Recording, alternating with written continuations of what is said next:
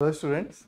So this is a question from NET December 2024 and uh, it is actually based on uh, motion of charge particle in electric and magnetic field. And uh, just see the question.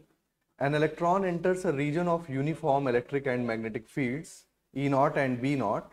Its velocity E naught and B naught are mutually perpendicular. All of the three are perpendicular to each other Initially, E naught is so adjusted that the electron suffers no deflection. It means net force is zero.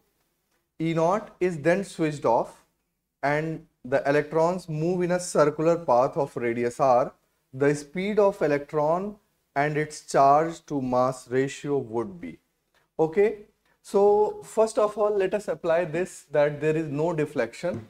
So that means uh, Q into E naught will be equal to q into v cross b. And this angle is 90 degree. So that means e naught is equal to v b naught. So v is equal to e naught by b naught. So we got the velocity. So this is incorrect this is incorrect. This or this can be correct. E naught by b naught is the velocity.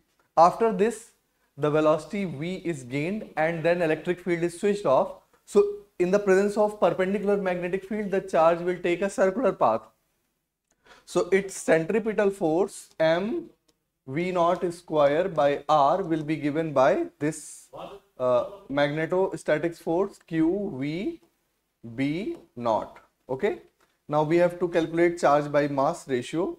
So q by m will be equal to, so this cancel this q by m will be equal to uh, v naught by r b naught. And value of v naught is e naught by b naught. So it will be equal to uh, e naught by b naught square into r. Okay? So this option 3 is correct. So this was very very straightforward question. I think in class 12th also we discussed this much uh, the motion of charge particle in electric and magnetic field simply based on Lorentz uh, force and also some concept of centripetal force. Thank you.